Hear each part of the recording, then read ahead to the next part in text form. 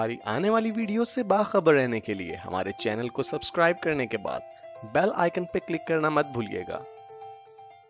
बिस्मिल्लाहिर्रहमानिर्रहीम, dear students, welcome to IT serious tutor channel. अपनी इस वीडियो में हम बात करेंगे फ्यूचर वैल्यू फ़ंक्शन की और देखेंगे कि फ्यूचर वैल्यू फ़ंक्शन को किस तरह मुख्तलिफ़ सिनेरियो में आप यूज़ कर सकते हैं।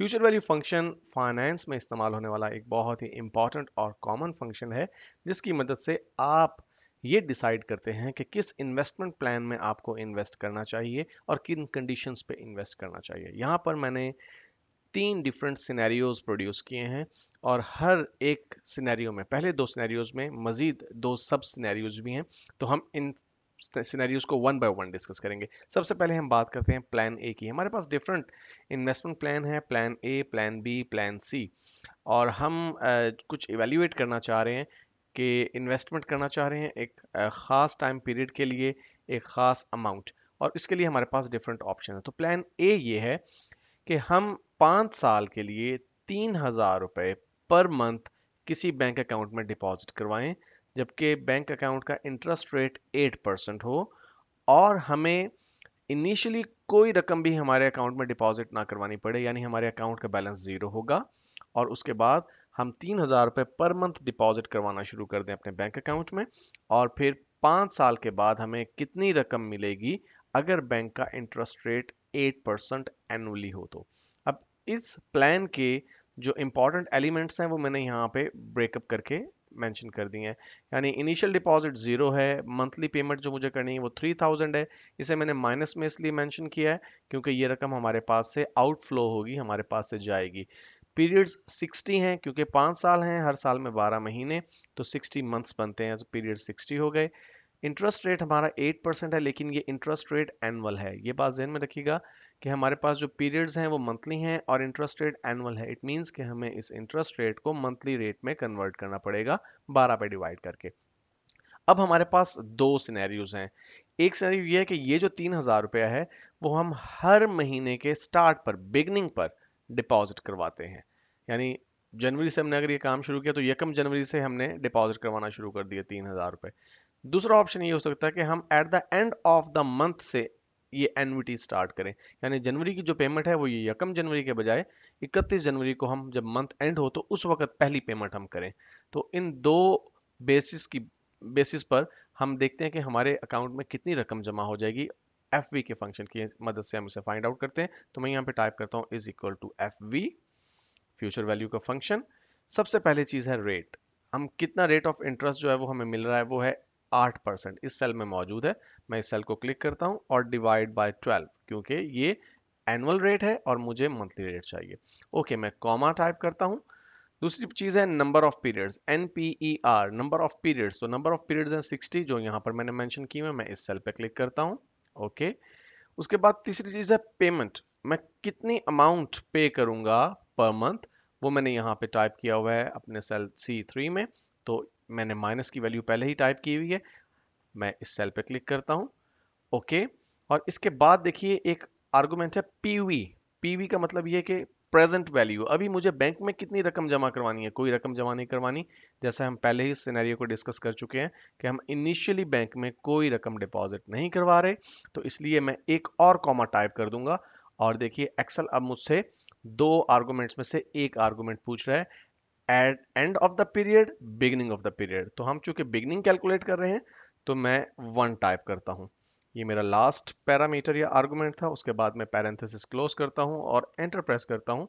तो देखिए, दो लाख इक्कीस हज़ार नौ सौ डॉलर और ग्यारह सेंट्स डॉलर का साइन ऑटोमेटिकली यहाँ पर इंक्लूड हो जाएगा, क्योंकि जैसे मैं पहले बात कर चुका हूँ कि ये एक बिल्ट इन फ़ंक्शन है और ये ऑटोमेटिकली जो वैल्यू कैलकुलेट करता है, उसे डॉलर साइन में कन्वर्ट कर देता है। अच्छा अगर हम यही फार्मूला यहाँ पर कॉपी कर लें, इस सेल को मैं यहाँ से कॉपी करना चाहता हूँ, लेकिन फिर कॉपी करने की सूरत में लेकिन फॉर्मूला काम नहीं करेगा, क्योंकि रेफरेंसेस जो है वो चेंज हो जाएँगे। मैं दोबारा से यहाँ फॉर्मूला टाइप करता हूँ और अब की बार मुझे करना ये है कि मैं end of the month payments करना चाहता हूँ। तो मैं टाइप करता हूँ एफ़ फ्यूचर वैल्यू का फ़ंक्शन पहली चीज़ है रेट वो 8 परसेंट है। मैं डिवाइड करता हूँ इसे 12 के साथ ओके नंबर ऑफ़ पीरियड 60 मैंने इस सेल को सिलेक्ट किया। पेमेंट हमें कितनी करनी है? 3000 हर मंथ पे करनी है। प्रेजेंट वैल्यू हमें इनिशियली कोई रकम पे नहीं करनी, एक और कॉमा मैंने प्रेस किया और उसके बाद अब की बार मैं ज़ीरो टाइप करता हूँ, यानी एंड ऑफ़ द मंथ हम पेमेंट जमा करवाएँगे और मैं एंटर प्रेस करता हूँ। तो देखिए अमाउंट का डिफरेंस आप देख सकते हैं कि दो लाख बीस हज़ार चार सौ तीस और दो लाख इक्कीस हज़ार नौ सौ डॉलर जो है, ये ये फ़र्क पड़ेगा हमें इंटरेस्ट का, क्योंकि ज़ाहिर सी बात अगर आप बिगनिंग पे करवा रहे हैं तो इंटरेस्ट ज़्यादा मिलेगा आपको अदरवाइज़ आपका इंटरेस्ट थोड़ा सा जो है वो ऑलमोस्ट पंद्रह सौ, चौदह सौ रुपये चौदह सौ डॉलर का डिफरेंस जो है वो आपको देखने में मिल रहा है। तो हमारा पहला स्नैरियो कंप्लीट हुआ प्लान ए में। अब हम बढ़ते हैं प्लान बी की तरफ़। तो प्लान बी में बाकी सारा सिनेरियो तो सेम है। आप देखिए हम तीन हज़ार ही जमा करवा रहे हैं सिक्सटी पीरियड्स हैं eight percent annual rate of interest है। लेकिन अब की बार फ़र्क सिर्फ़ ये है कि मैंने इनिशियली भी पचास हज़ार रुपये बैंक में डिपॉजिट करवाने हैं। यानी पहले मैं पचास हज़ार डिपॉजिट करवाऊँगा और उसके बाद हर मंथ मैं थ्री थाउज़ेंड पे करूँगा।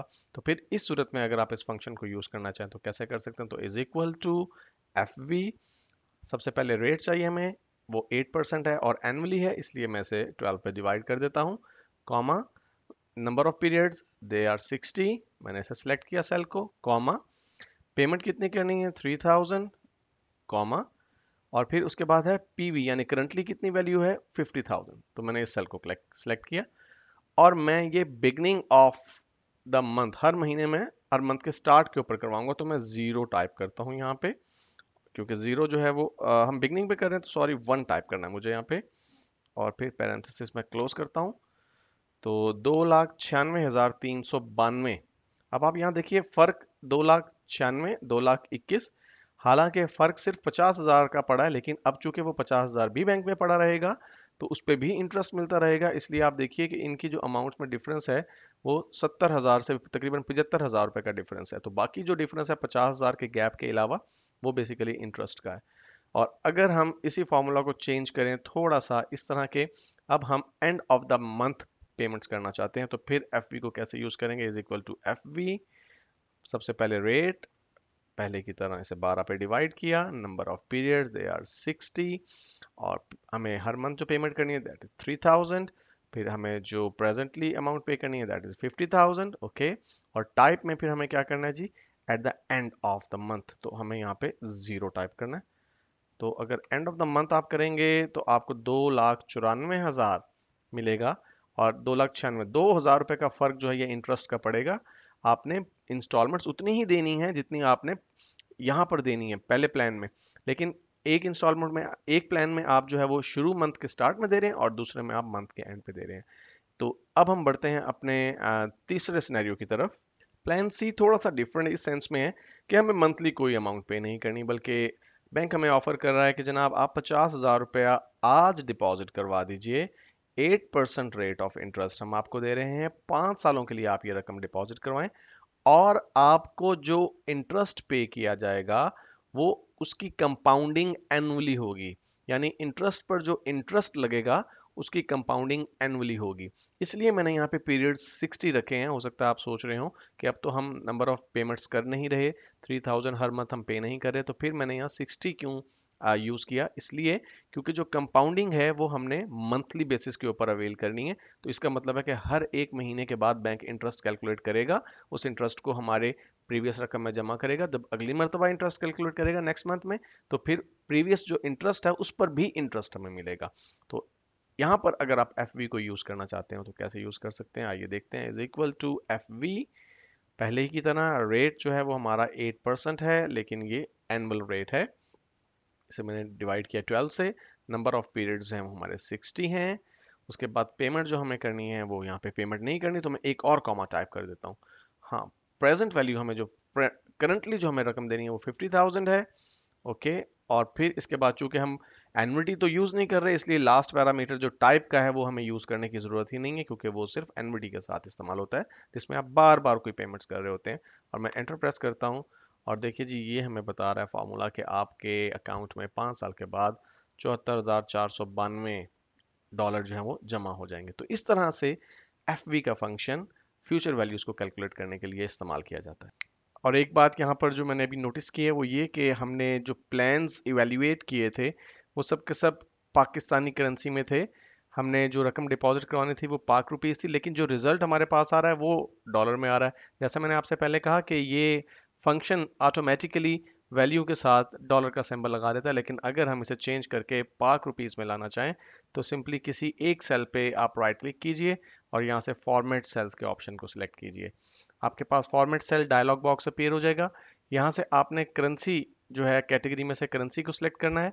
यहाँ पर देखिए डॉलर साइन इस वक्त यूज़ हो रहा है। मैं इस ड्रॉप डाउन बटन पर क्लिक करता हूँ तो पूरी एक लिस्ट हमारे पास आ जाती है, जहाँ पर मुख्तलिफ़ करेंसी सिम्बल्स हैं। और ये अल्फ़ाबेटिकली अगर हम लेना चाहें तो पी के आर जो है वो पी के सेक्शन में होना चाहिए। तो मैं ड्रैग करते हुए पी के सेक्शन में आता हूँ और यहाँ पर देखिए पी के आर हमारे पास मौजूद है। मैं ओके okay करता हूँ और देखिए इसके साथ पी के आर एड हो गया है। अब बाकी सेल्स के ऊपर भी मुझे पी के आर ही चाहिए।